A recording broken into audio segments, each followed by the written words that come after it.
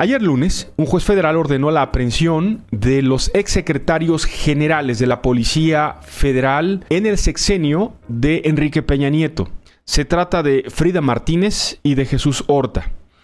17 personas más, además de ellos dos, están también eh, siendo perseguidos por su presunta responsabilidad en los delitos de delincuencia organizada con la finalidad de cometer operaciones con recursos de procedencia ilícita por un monto de, escuche usted, 2.500 millones de pesos. La orden de aprehensión en contra de Jesús Horta, exsecretario de Seguridad Pública en la Ciudad de México, deriva de procedimientos que eh, realizó la Auditoría Superior de la Federación y que derivaron en denuncias penales ante la Fiscalía General de la República por parte de la Secretaría de Seguridad Pública del Gobierno Federal.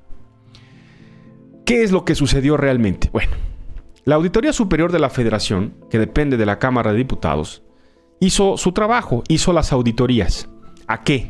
Al dinero que se usó en la Policía Federal en el sexenio de Enrique Peña Nieto, cuando el mandamás de toda la estrategia de seguridad pública en el gobierno federal era el secretario de Gobernación, el hoy senador y coordinador del grupo parlamentario de senadores del PRI, Miguel Ángel Osorio Chong. Bien, ¿qué fue lo que encontró la Auditoría Superior de la Federación?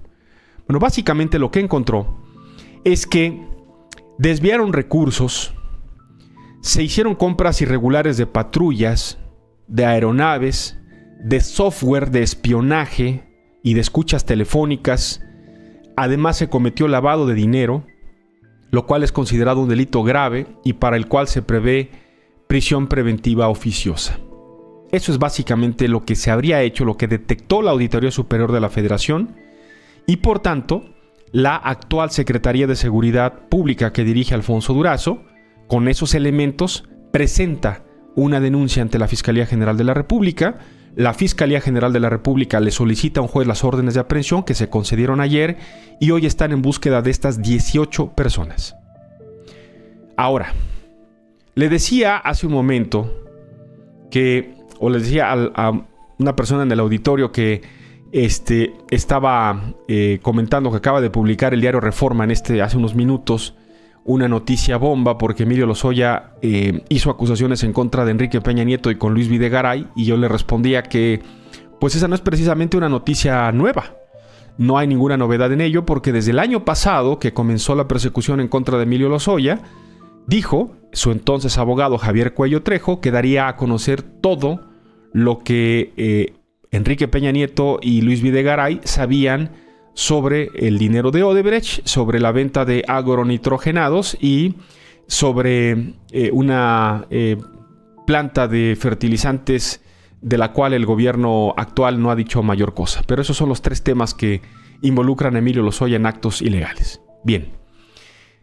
Este tema del que le acabo de hablar hace un momento, de la orden para detener a los funcionarios de la Secretaría de Seguridad Pública del sexenio pasado, no tiene los reflectores de Lozoya, pero si el gobierno del presidente Andrés Manuel López Obrador, desde la Secretaría de Seguridad Pública y la Fiscalía General de la República van realmente al fondo, están en la ruta de encontrar uno de los fraudes más cuantiosos que se hizo a la hacienda pública en el sexenio pasado y que fue el multimillonario, pero multimillonario y no exagero, gasto que se hizo en materia de seguridad. Esta primera denuncia va dirigida a la compra de patrullas, de software, a la compra de aeronaves, pero no es eso en lo que más gastó el gobierno federal.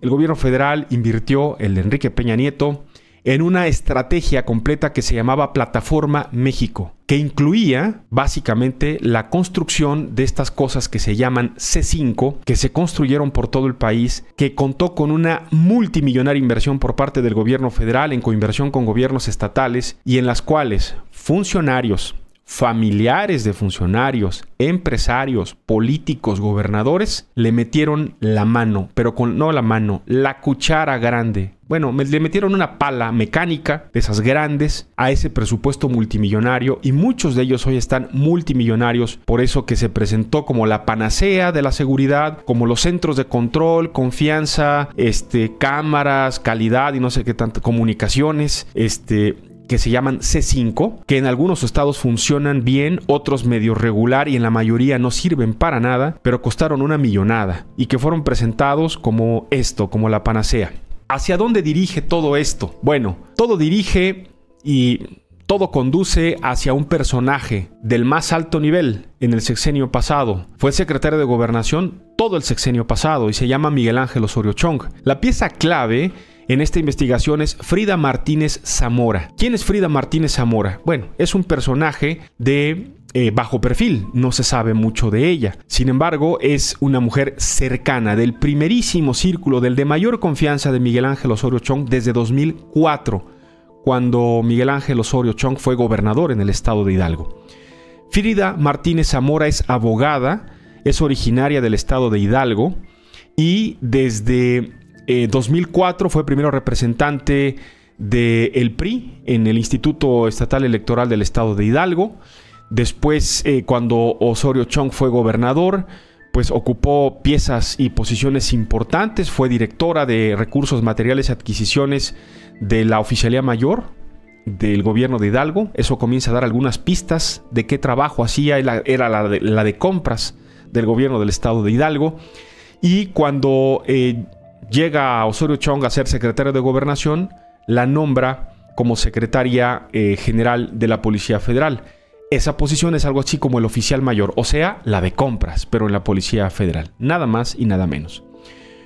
Por si las moscas, como decimos en México, el actual senador de la República, a pesar de tener fuero constitucional y se presume su esposa y su hijo, ya tramitaron sendos amparos para evitar la acción de la justicia. Por eso les decía, este caso no tiene los reflectores del caso Lozoya, porque es eh, no ha sido puesto en la lista de prioridades del gobierno federal, no en la de la agenda del presidente, la agenda mediática del presidente López Obrador. Pero todo indica que si en la cuarta transformación y en la Fiscalía General de la República quieren realmente tener un ejemplo de lo que es el combate a la corrupción en el pasado, y quitarse la etiqueta de que hay un pacto de silencio con el gobierno de Peña Nieto y no los van a perseguir, si van a fondo en este tema, van a meterse realmente en un cuarto lleno de mucha corrupción y mucha suciedad. Es literalmente la caja de Pandora, el presupuesto de seguridad que se ejerció el sexenio pasado, del cual hay muy poca información pública, del cual se mantuvo una gran secrecía, un gran velo de oscuridad para que no se supiera realmente qué estaba pasando con este millonario presupuesto, pero todo parece indicar que muy a las calladas el gobierno federal le ha entrado al tema. Vamos a ver hasta dónde topa. Eh, ya le digo, todo mundo con los ojos puestos en el caso Lozoya en este programa seguiremos el caso Lozoya. Ya hemos dicho, lo dijimos desde antes, no pisaría la cárcel, no va a pisar la cárcel, no le van a, quitar gran cosa a Lozoya, él ya tiene su trato, no habrá más que una gran exposición mediática sobre el caso Lozoya, poco dinero recuperado, pocas personas eh, que vayan a proceso legal, probablemente ninguna, pero este caso, este caso que tiene poca cobertura mediática, que ha sido manejado hacia abajo, este sí podría tener para que vea si van al fondo, si hay voluntad de ir al fondo este sí podría tener otras repercusiones.